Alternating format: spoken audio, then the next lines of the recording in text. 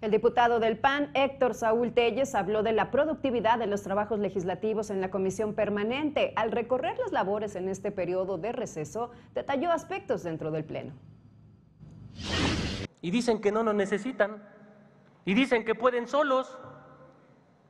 Pues yo veo que es muy bajo la productividad del grupo mayoritario. Si hubiera habido consensos, si hubiera habido pues un poco de generosidad, menos soberbia. Hubiéramos tratado de construir muchos más dictámenes juntos.